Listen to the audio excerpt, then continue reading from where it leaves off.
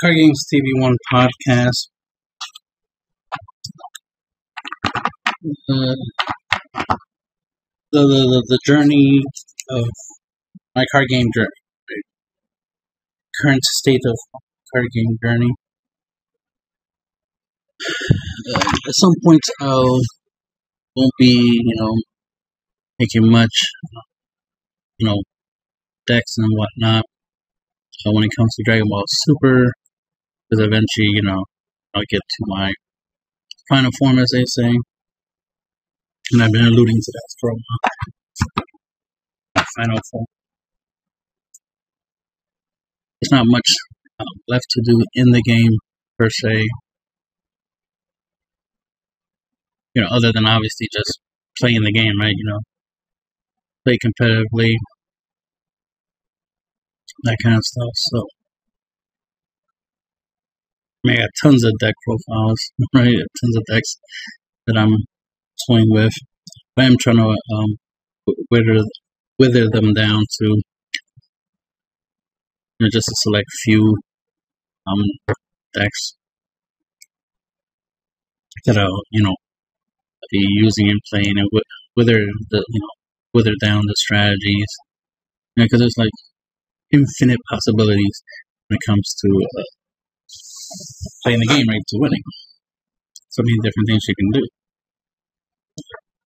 As you can, if you're watching the video version of this, you know, bringing back good old chain, you know, chain attack trunks and Zeno, the playing God combo, using that as a win con, along with other cards you know, like Overwhelm, for example, so that you can get an extra body on board.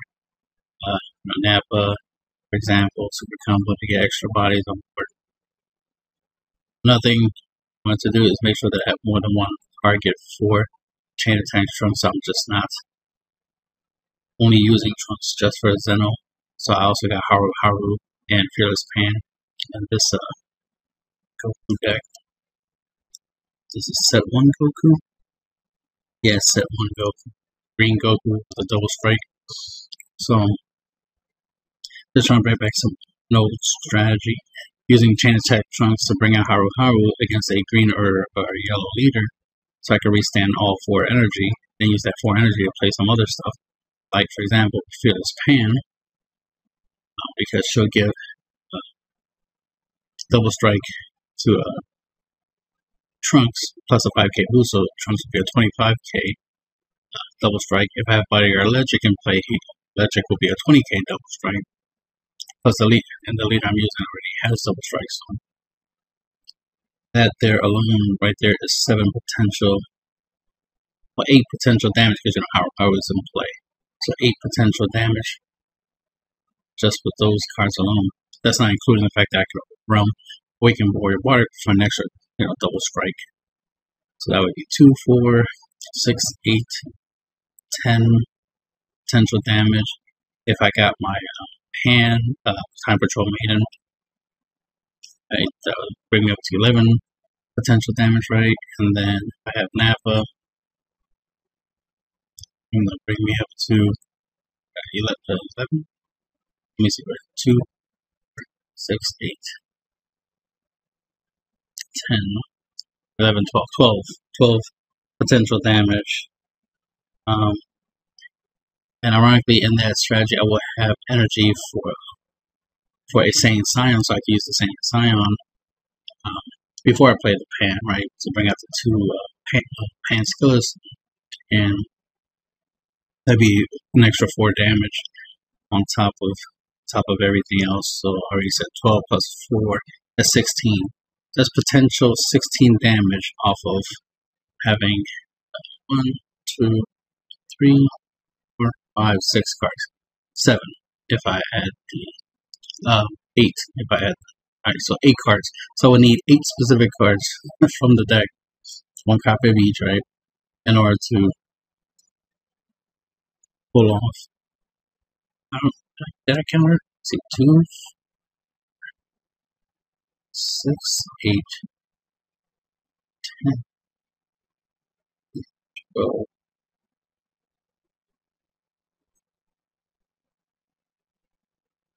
13, 14.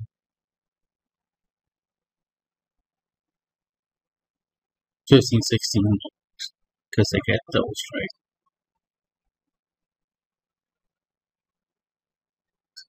Sixteen, yep, sixteen. Potential damage off of eight cards. Technically, could probably do seventeen if I attack with same signs first before I do the minus ability. So I could potentially push it up to seventeen potential damage on turn four. That kind of stuff. So just trying to bring back some some old school strategies. But anyway, I always say, you know, the first four damage is the easiest, the next two requires a little effort, the last two is the hardest. And I've been consistently capable of doing um, seven damage. Even when I went to my locals, um, besides the, you know, obviously the games where I, uh, you know, where I won, um, the, the, the, you know, the games that I, I lost, my opponent was was either at one or two life. Typically one, ironically, right? Typically one. It might have been like just two opponents where I got them down to two at most. But other than that, most of my opponents always got down to one.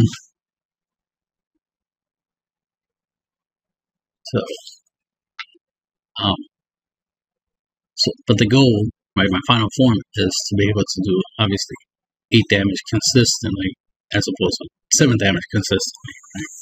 For those who follow me, a lot of my videos, right? Watch a lot of older gameplays. Are familiar with, you know, me being able. I mean, there was a time where consistently I could do four or five. People can do four or five. Obviously, because I always say the first four is the easiest, so doing four or five damage is not too difficult.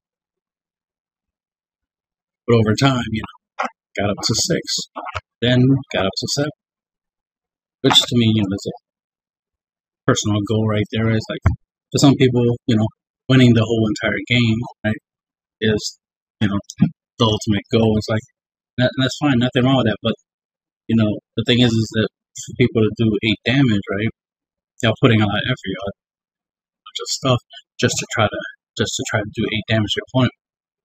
A lot of times, y'all looking for decks that can easily facilitate that. That's why a lot of people's W's came from like Cell Zeno more than from you know skillful gameplay. All they did was get their point, just do at least four damage, right, and then wait, maybe not even do any damage at all. Just wait until the right time to do some type of play where they maybe, uh, and this is you know a, a strategy that we're bringing back, right?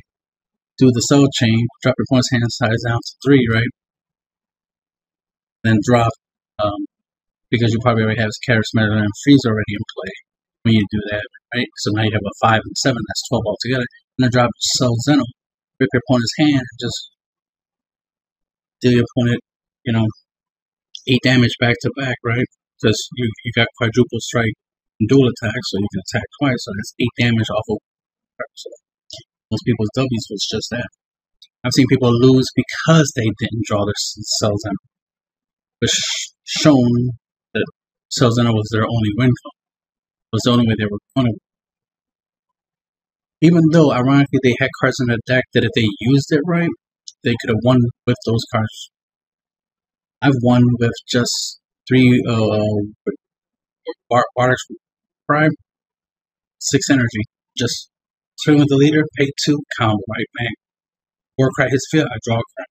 Swing with the Warcry, right? Combo another Warcry from my hand to power up my the Warcry I have in the field, so it's a 30k double strike. Bang. Double strike, right? The deal the damage goes through. Bang. The other one, second one hits the field. I draw a card, right? Swing with it.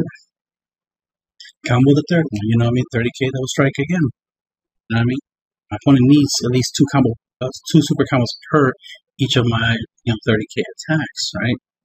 That's if I'm not combo. I could combo 5k and make it even harder, right? Because then my opponent's going to need more than uh, two super combos to try to out combo my attack. Right? So I need 25k combo power um, for each of my uh, Wake and Bar swings. remember, I'm drawing a card every time I play them, so I'm pretty much guaranteed to be able to uh, give up five five k each. And if I draw super combos, right, even crazy, right? If I draw super combos back, just throw them in there, right? So it's not too hard to get their attacks really high to greatly increase the chances of their attacks going through. And I've won, you know, many times just doing that that line of play. I've even made decks where that was the, the win card was just playing playing that. Playing, you know, obviously Morgan to have the pricing hands, playing uh, Planet Vegeta to add extra copies, and just you know stall long enough to have enough energy to play play out that combo. Anyway, of course, I've done you know stuff where uh, I've attacked with everything I have on my board. My opponent is like, all right, I survive. I got one life left, and then but their hand size is low, and they're and I'm tapped out in this dancer, so it looks like I'm gonna end my turn. Then I'm like, bang, wake, wake, wake warrior barter overround, 20k double strike for game, you know, type of deal. So on that, I've done some other. I played some other cards where it's just I play the card and it itself is a win con, right? So I've done stuff like that. But anyway, like I said, is you know just attacking with a leader, unison, maybe even throwing a Champa here and there, playing a couple free plays like Nappa Super Combo by Garligic, stuff like that. Um, using Saiyan Scion to you know to aggro my opponent first two turns of the game, things of that nature. The more I understand the game, the less good I have to be. Um, so I've mastered the art of not being good at the game. That makes sense right? So it's not too different from the concept. That's why I call it like you know ultra instinct. The idea of you know autonomous, you know whatever they you know term how they describe ultra instinct. You know, it's basically your body you know moves on its own, right? So since I'm trying not I'm not trying hard to you know do a lot of damage and do a lot of fancy stuff to uh, deal my opponent damage. Obviously, that's me using less skill, right? Less thinking, especially if I'm not comboing. Because that's the main thing. It's me uh, playing cards deliberately that uh, makes it where I don't have to combo. If anyone has to combo, it's my opponent, not me. So I play cards that forces my opponent to have to combo. Because if they don't combo, they'll take hits. If they don't negate, they'll take hits. If they don't block, they'll take hits. You get it? So always playing stuff that's at least 20k and above, or at least 15k, I always think of my opponent having their leader on Awaken side when I play. So I don't think of their leader as a 10k leader. When the game starts, I think of their leader mainly as a 15k. Even if I'm going to be swinging at my opponent with a whole bunch of 10ks turn one, I'm always with the mindset that you know my opponent will be 15k at some point in the game, sooner than later. And you know, might have to make sure that my attacks uh, can can land. I Gotta make sure that my attacks at least at base is 15, but 20 would be better because that forces my opponent to have to use super combos or 10ks to try to out combo my attack. So I take that to account. The fact that my opponents will have super combos more often than me, right? Then I need to make sure that my attacks are at least strong enough that forces them to have to use their super combos. And ideally, I want them to use it uh, early to mid game. That way they don't have them late games. So that will go. I'm trying to go for game through attacking. I don't want super combos to pop out, pop out of nowhere, right? And potentially save my opponent from losing just because they, you know, just so happen to have the super combos. Just because they were capable of getting their attacks high enough to stop my attacks from going through. So the idea is to make sure your attacks go through. Um, obviously, progressively, you want your attacks to get stronger over time anyway. You start the game off with a couple 10Ks, 15Ks, but eventually you want to get to 20, 25, 30, right? 40K ideally. You want to get to some higher numbers, you know, by the time you go to late game, because you don't want to be late game swinging with a 15K, right? Or a 10K, and your opponent can just easily out combo with a 5K combo power super combo. So that's the kind of stuff you gotta you know, think about. You know, I do. So I try to come up with find cards that I can play that have high attacks that I could easily cheat them out. like overwhelm obviously things like electric, you know, there's many options. Let's go on. Or at least have something strong that I could play early game. They'll stick on the field for like a 15k unison or a 20k unison, right? Like like the the Jiren um, unison that's in this list. You know, I could play for three red energy, right? It's a 20k body. You know, it's not a battle card, so it's immune to a lot of cards, which is always great.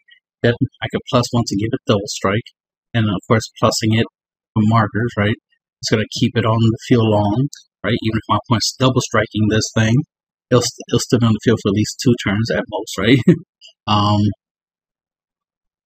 and it'll put in work because I mean, the turn in which I play, it, I'll get to swing with it, 20k double strike, and then if my opponent even hits it back with double strike, that's fine. I'm still here. I still got two markers left on it, and I can swing at least one more time on the following turn, right? So you at least get potentially four damage off this card by itself. Very little effort, right? Because I just gotta play it and use it. And since it does, it's not a battle card. I don't have to worry about stuff like gassing trunks or anything of that nature, stopping me from playing it and using it. Right? Then it has the auto and the minus three ability that I can take advantage of, you know, for defensive purposes. That's a factor to take into account. So again, like I said, sometimes even just playing certain cards just makes you know the damage dealing process so much easier, and I'm always focused on damage output. Um, a lot of players for many years now have always been focused on many other things. But you hear stuff about the meta, and you hear stuff about like it's like you gotta have this card for this uh, for for for when somebody plays Cell you know, for for Cell. You need this card for when somebody plays Black Masked Saiyan, this that. You should play Black Mass when you play against this deck. And like you hear a lot of that stuff about you know, side deck cards and card floodgate cards, like just cards to help you beat certain card effects and strategies. Like the fact that some people literally have cards that they want to use specifically when somebody plays Topo. My strategy against Topo is just like, all right, I'm not going to attack. oh, your turn. Oh, you try to attack me? Okay, let me drop my Topo. That's my strategy. you know what I mean? I, like I make, I try to make things simple. It's like I'm not going to waste time trying to counter your counter, right? I'm gonna try to stop you from playing your topo. It's like I'm going to notice that you're going to play because you kept two energy up. It's like uh, you're probably gonna play a topo, so I'm not gonna overextend. I'm not gonna tap out. I'm just gonna start swinging. You're going to play the topo because if not, you're going to take damage, right? And then just end my turn, and then defend against your topo. You're bored. Then on my turn, try again. You know, sometimes that's all I gotta do is just wait a turn. So if you violent raise, I wait a turn. Topo, I wait a turn. Flying Nimbus, I wait a turn. The list goes on. Baby Hat Check, I'll wait a turn. Yeah. The main thing is I always try to assume that my opponent has these types of cards. Because typically I have these types of cards. So I expect my opponent to have these, you know, floodgate cards. So I'll uh, anticipate. But I'm not going to waste time putting cards in my deck solely for the purpose of trying to counter these cards because that's just a that's just a that's a waste of action, waste of space in the deck, and I don't side deck, so they're not going to be side deck options for me. I main deck what I use, and that's why for me experience is more important than than cards a lot of times because like like I was saying, instead of me playing a card to try to um, deal with Topo, just get used to playing against it. Oh, you played it. All right, cool. In my turn. Or you know what? I got I got ten cards in my hand. You know, I could sacrifice two. Yeah, I want this attack to go. So I'll swing. I'll pitch two cards. I might want these cards on the drop anyway for overwhelm or something. I don't know. Right? It depends on the situation, and just just go from there. Especially if my attack is that's the thing. If my attack's going to be my leader swing, like after I get topo, like I probably swing like a unison or something. like, oh, you topo, okay. But my next swing is gonna be my leader. I'm gonna get to draw, so pitching two cards my opponent, get one card back. Um, so basically, I just pitch one card to get this attack to go through, right? So it's not that big of a deal. And you know, hopefully the, the damage, you know, damage goes through. Because of course I go always like chomp of the leader's attack, for example, and then bang, I can deal two damage that way instead of trying to do damage from a leader swing and a battle card swing. Right? Just get as much damage out of the leader swing as possible. That kind of stuff. So I rather use experience and use what I already have in my deck to deal with stuff, as opposed to like, oh no, I gotta have a card specifically for Topo or for I got to have I gotta have cards specifically for a specific matchup, blah blah blah. My, my, I gotta I gotta have a card specifically to stop opponent from playing food. The Shadow of the Mystery. I know it's banned right now, but when it wasn't banned, I gotta have a card to specifically help me against this. Like, uh, yeah, you could go that route, or you could go the route I prefer, which is to beat your opponent before that even happens, before they can even play that card. Same thing with like turning tides. Instead of me trying to have cards in my deck in case my opponent plays turning tides on me, I'd rather beat them before they do. Or do do everything that I, I need, do everything I can to at least set up a couple blockers on the board, and then let turning tides hit the field. Because as long as my opponent can't hit me with his uh, turning tides and leader, maybe a unison swing, I'll survive that turn, right? So I'm able to turn the tide, right, by making sure I have something in play. I tend to play a lot of, um, depending on the colors I play, I tend to play uh, blocker unisons. So I'm pretty good against uh, turning tides because I'm gonna have at least a blocker unison in play, right? Or at least a, a deadly defender. That's always a good card to have in play.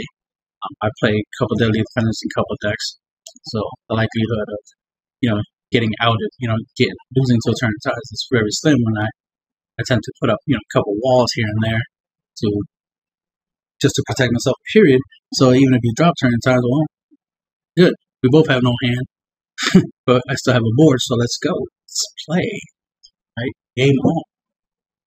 Um, that kind of stuff. But um, yeah, like soon I'll be posting less and less and less stuff that has to do with Dragon Ball Super. Because there are other card games I'm interested in trying out. You know, mastering them. Already at close to my final form and mastering this game. You know, the only thing missing, uh, realistically, um, is just you know, dealing the last one damage with no effort and that would be my mastered UI, master ultra instinct. So far now I can just I can do seven with very low effort. Ironically, most of my strategy so far, some of the gameplay, especially with the Cell Zeno, I mean not Cell Zeno, uh, Chain Zeno uh, combo, among other similar strategies like turning the tides and stuff like that, um, or the no hand strategy, where they did to reduce my opponent's hand size and then swing with a whole bunch of battle cards for game, right? Um, is based off. It, it, I, I'm, I'm like dealing my opponent four because you know the first four is the easiest, right? And then um, dealing the last four damage on on turn as opposed to like doing six to seven damage and then try to deal the last damage late game. So the sooner I can, I'm definitely trying to get to the point where turn four or at, at the at the latest is the kill turn. You know, like the good old days as opposed to like trying to do turn five, turn six, or even turn seven kill turns. So that's why I was like, you know, I was having fun with turning tides, but I was like, hmm, if I can only play turn tides, you know, one or two turns earlier, you know, makes a huge, it would make a huge difference, be more powerful. And it's like, well, ironically, chain attack Zeno combo, even though it doesn't have deflect, obviously it's a weakness, though it doesn't have deflect, it has the potential to essentially be a turn four, maybe a turn three on the right conditions. Right? I mean, extra, extra potential uh, on turn two if you, if you can pull it off, right? Um, turn two, but turn three more ideally. Turn three, um, a turn three chain Zeno strategy. Because, you know, it's not that hard for me to go off and do at least four four plus damage turn one. So that way, all I have to do is just get, you know, do like a topo or or a topo or uh, a chance or something like that on turn two, just in case my opponent's trying to, you know, hit me back on a clapback I can at least stall long enough to survive, right, to get to turn three if need be, and then you know drop chain, attack Trunks and Zeno turn three if I have the, the cards to do so, and then bang, overwhelm, do all the shenanigans stuff, right, and just boom, finish my point off. Turn three, so it'd be like turn three kill. Um, you know, at the earliest. Obviously, I, I can just, you know, typically do a turn four kill just by just playing chain attacks just for four, right?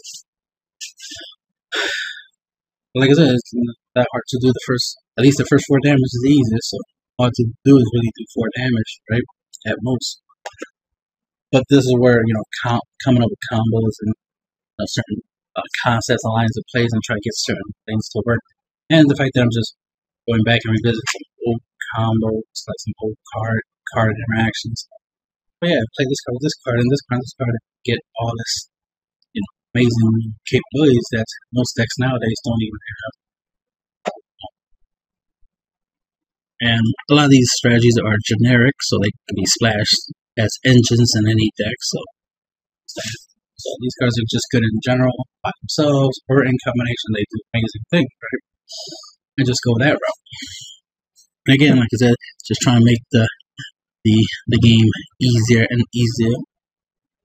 Um, so that way I can consistently do eight damage, and then that's it, right? It's just a matter of playing the game after that. Once you get, you know, once you get used to certain developing your play style, fighting style, however you get to mastery, master your your just we, we typically we just call it playstyle. Once you master your playstyle, because your playstyle is not what you're playing, it's how you play. Whether you play aggro, right? You play aggressively, fast, uh, play some cards that just make things faster. Because to me, just even just putting a whole bunch of like, uh, like putting Isapin Kai and Champas in my decks just makes the deck automatically aggro, regardless of if it's a black deck, green deck, yellow deck, whatever. I can make Hatchiyack aggro, which, ironically enough, I have my Hatchiyack deck right here in front of me that I'm toying with. Um, and I, you know, it's it's uh, my Gogeta, you know, aggro deck. So, so I have a Hatchiyack aggro deck. So I'm gonna use that competitively because most Hatchiyacks tend to not be uh, very aggro, but my build is. And like I said, it's just as simple as just throwing in the Champas these three guys. So that way I can just take any anything that I can play a one drop unison, turn turn two, and then use the extra energy to Champa the unison and bang. Double strike my opponent. I could get like I could be swinging with like a 25k, even a 30k if I combo right.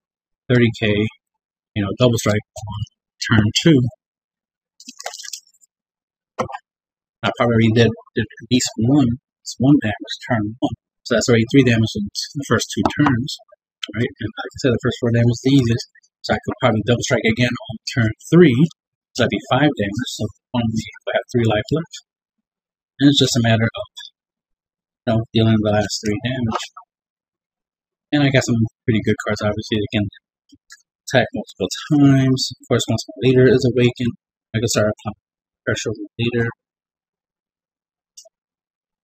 I got board wiping capabilities. I got the, you know, the Gogeta burn effect, where once I play it for five energy, so if I stall to turn five, I could just play it and burn my opponent for one and game him out. That kind of stuff.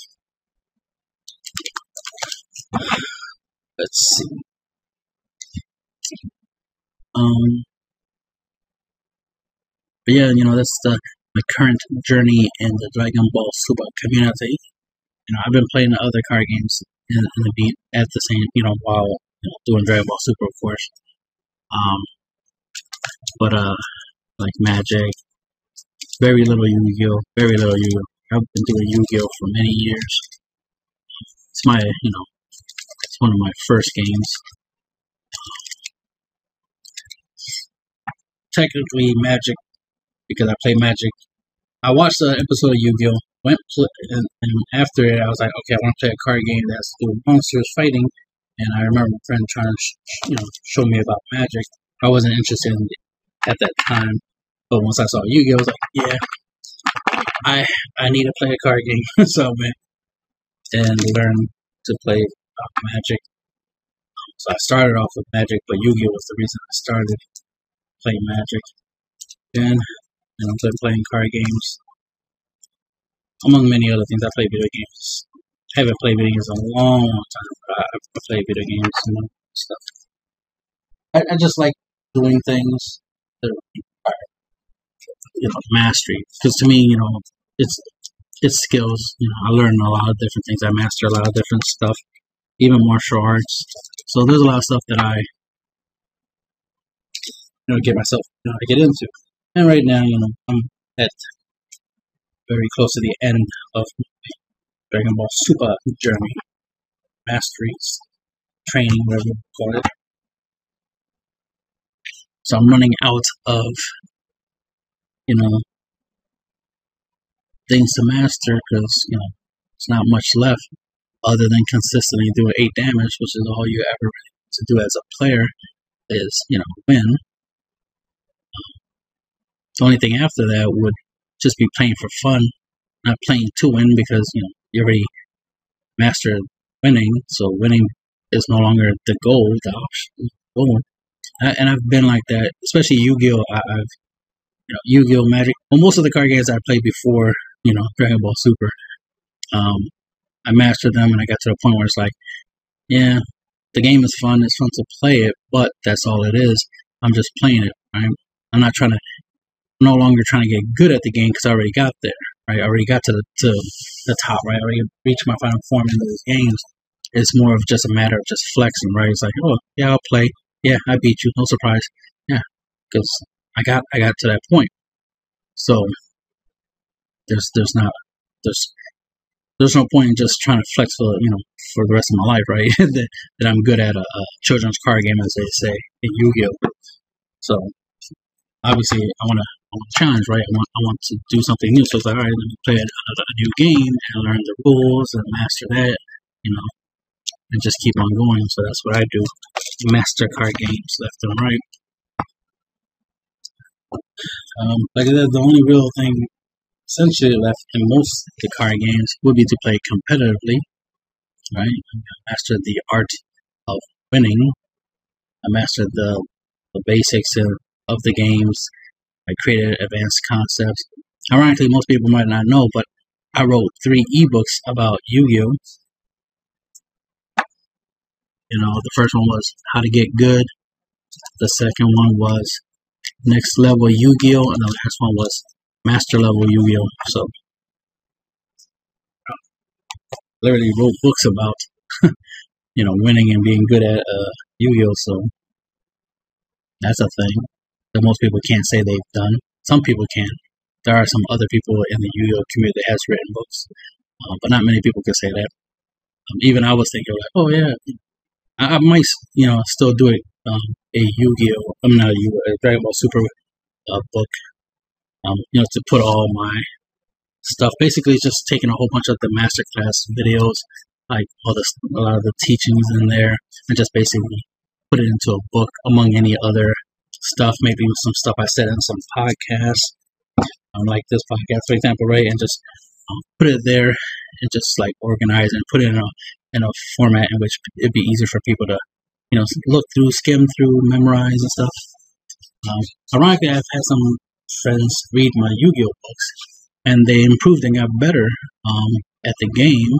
But the irony is, is that they themselves are their weakness. They themselves hold themselves back. Like they read my books, they got better at the game, but then they just stop doing the things that they learn and just start being who they normally are and play the way they normally play. They end up losing again. So, hey, you got better, you know, you got good, but then you decide you just want to go backwards, just do things your way. Your way wasn't working. That's why you were losing to me before. My way clearly gets results. But okay, whatever. You know, as long as you're having fun losing. but as long as you're having fun, all right, teach their. I'm not. I'm not gonna judge. Right? It's just I'm gonna notice. I'm like, eh, you could be good, right? You could be a better player, but you keep choosing to not be better. Okay, their own. I can't make somebody do something they don't want to do, right? If you want to be better, then you'll you'll be better by you know putting in the effort, right? You'll try to get as much information and knowledge you can from wherever, from wherever you can get that knowledge from, including me or anyone else, right? You'll try to get better that way through other people's uh, knowledge and expertise. I consider myself an expert, right? Expert, master, whatever you want to call it, and sharing knowledge, which is why I make videos to share these things, share these ideas, share from my experience. I tend to be a, a fast learner, so I learn really quick from a lot of my mistakes. And I'm human, I make mistakes, but I learn from them, improve, and I get better. You know, and whenever I get better and improve, then I share that with everybody else, right? Through the videos, so that way a you can avoid making the same mistakes and you know be better before you make the mistake and learn. So that way you don't have to learn the, what i've learned the hard way right? I learned it the hard way. You don't have to because you can just learn uh, from me uh, the better way of dealing with certain things right? You can play however way you want. I'm not trying to tell you how to play. I'm just letting you know that there are other ways to play. And i do have my play style that comes from experience. It's not just shit I'm making up, right? Some people probably think that, but it's like, I, I know what I'm doing. I'm not perfect, but I know what I'm doing. You know. Uh, but yeah, definitely looking forward to making other stuff. Just this is long. this is me talking for a long time, just to say that yeah, I'm gonna be probably posting a lot less in the near future um, about Dragon Ball Super, not, not about card games. Obviously, I'll be posting about, you know, about card games, among many other things that I do. Obviously, One Piece is a is a thing. If you're interested in trying to check out uh, My Hero Academia because you know I do like the anime and certain characters that I like to build decks with. So check them out. That I can at least say that way at least I can have some stuff and be like, yeah, play the game. You know, or they will do this and that. The funny thing is, I, I got into Digimon, right? But some people might not believe, but I mastered that game way too quickly. It's like, okay, and mainly it's because I don't like the way the game plays out, the, the way they expect you to play. It's like, yeah, I don't like that.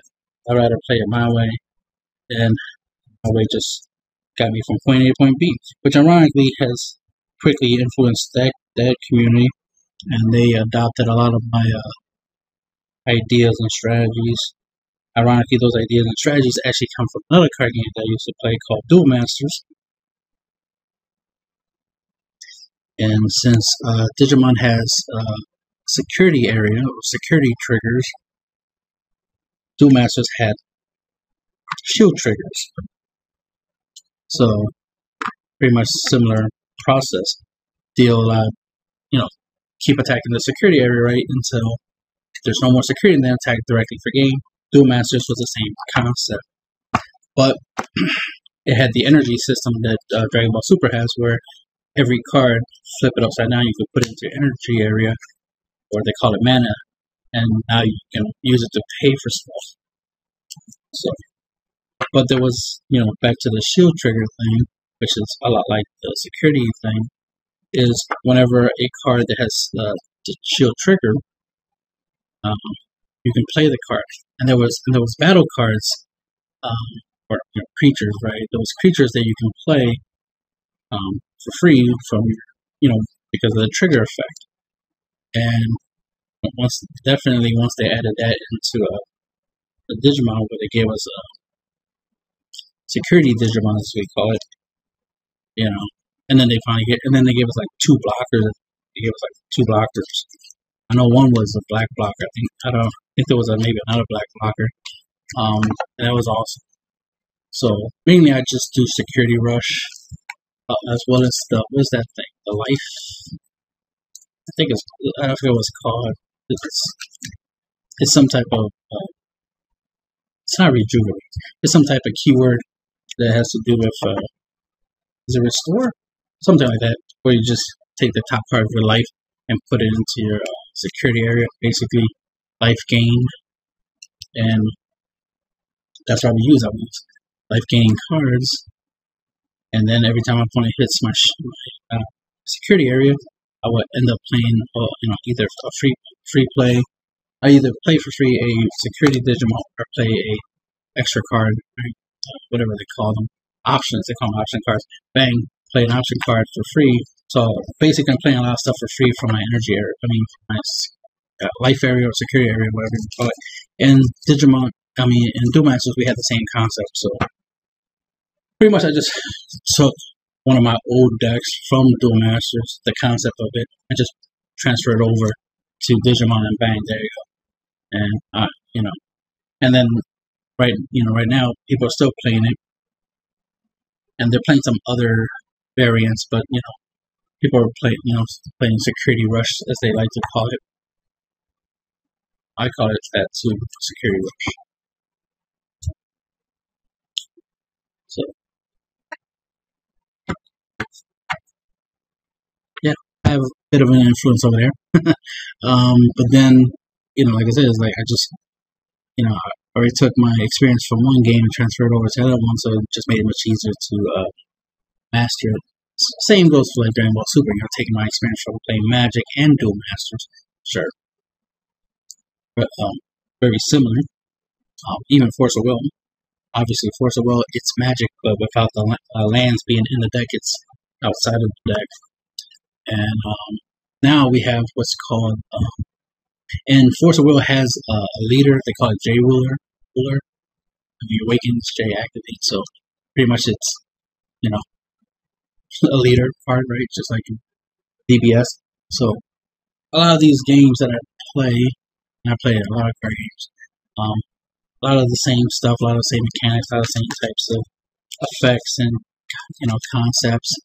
And I'm able to just take all that knowledge and experience and just easily transfer over to whatever game I play and easily, you know, start mastering it. It's not that different from learning one fighting style and then trying another uh, fighting style and picking up things here and there. And then when you try to learn another fighting style, it'd just be easier to pick up the other style. It's not that different from learning language. You learn how to speak one language, you know, it wouldn't be that hard to learn another language because you use the same type of concept of learning to learn the other language and keep on. It's just about taking what you know and then applying it to the new thing you're trying to do. That's what I do with card games. That's why it was so ironic or so funny to me anyway that when I got into the game, you know, uh, you know, immediately I'm seeing, you know, a lot of card combinations, a lot of potential. Like, oh, yeah, I could, I could do this and that, and I'm able to bring in a whole bunch of different uh, strategies from other card games into this game, and then you know, I start posting, you know, obviously deck profiles and combo videos and stuff like that, and just sharing the information. But ironically, automatically getting some ridicule from some people um, for it. Know, telling me that I don't know what I'm doing, I don't know what I'm talking about, that the decks are terrible, I'm a bad player, blah, blah, blah, all this, you know, stuff. And it's like, okay, it's a little weird. I think y'all wouldn't be able to understand what I'm sharing. I think y'all would even put in the effort of going like on untap or even proxying the cards and try out the ideas before you dismiss it. You know, i I'm from I'm from a time of card game of the card game eras where that was a thing. People tried things before they had an opinion about something. They didn't just look at a deck list and automatically be like, "Oh, this is a terrible deck. This can't win a tournament." Blah blah blah blah. All these opinions, and not even try out the deck. It's like, uh, give it a try. Try it first. Prove to me that it's not good. instead of thinking that it's not good because opinions don't matter. Facts do. So show me proof. But of course, one of the common things nowadays is is to ask is to ask me for proof, so that way they don't have to do shit. So even though they're the ones making the accusation, they're the ones claiming that my decks ain't good, and instead of proving it to me, right, proving it, because they're the ones saying that it ain't good, so you would think they would have expertise and they would know what they're talking about, so they should be able to prove it. Instead of them proving it, they want me to prove it. The irony, even after I prove it, they don't seem to care. Right? It's like, okay, so that seemed like a waste of my time. So, so I, I, I still believe in the idea of like showing proof. Like if I'm talking about a certain concept or idea or strategy, I definitely want to show it in action. Of course, you know when I have the time, I definitely want to show it in action because I want people to be able to see what I'm talking. Because I know most people are visual learners. I understand, but most people who say stuff to me tend to be trolls anyway. They just want to say something just for the sake of saying it, not because there's any legitimacy behind it. Um, yeah, I'm definitely gonna be doing more gameplays. That's something I'm looking forward to. Being able to sit down and play some games for a while. Because of course, you know, I want to get to my final form, so I gotta get a little bit more gameplay under my belt.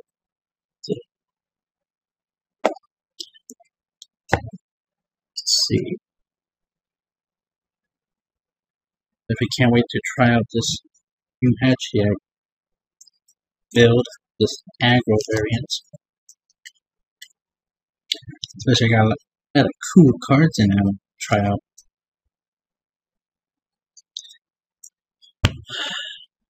Let's see. Uh,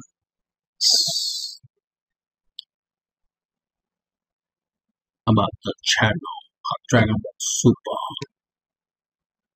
Well, I guess I'll point out the fact that I am trying to go to a to the Philly regionals. That's a thing. Um, I already paid the thirty dollar entry fee. Was it thirty or thirty five? I can't remember. But I still need to get a badge for the convention center, and then I still need to.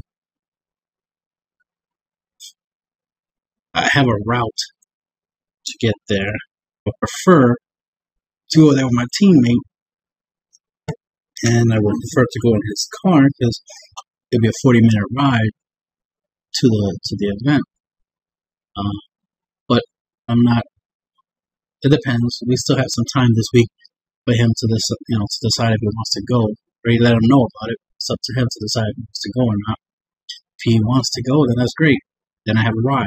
If he doesn't want to go, it's like uh, that's not great because now I gotta take public transportation there, and apparently it's a it's it's, about a two hour ride to the event.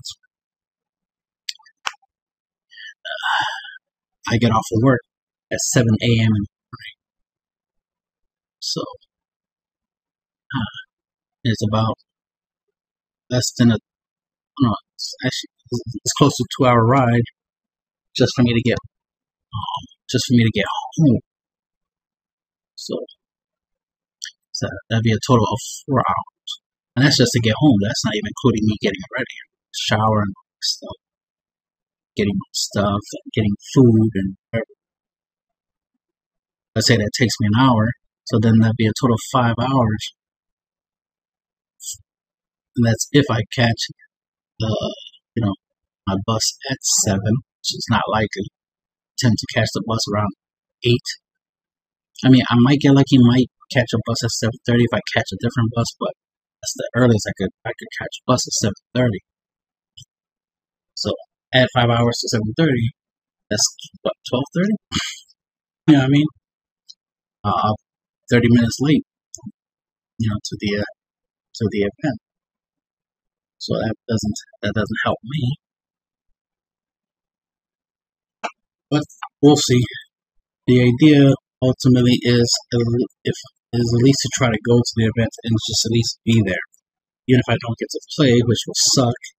Because think about it, actually going through the trouble to get there, and then I can't play the game. Right, I can't play at the event. That'll suck. I have a Hadji that ready to roll, right?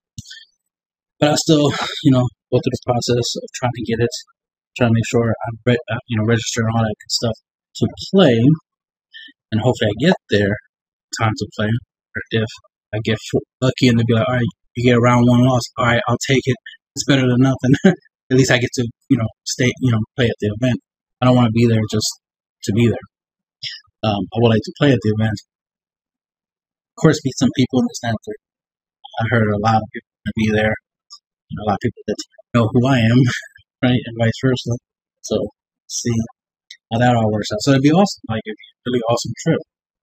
If anything, I mean, if we take the whole competitive aspect out of it, just just being there, having seeing people, you know, in real life, right, in person, and them seeing me in person, especially if they known about me for the past, you know, four to five years. It's like, oh God, I finally saw you for the first time in real life. Five years is like, yep, I'm real.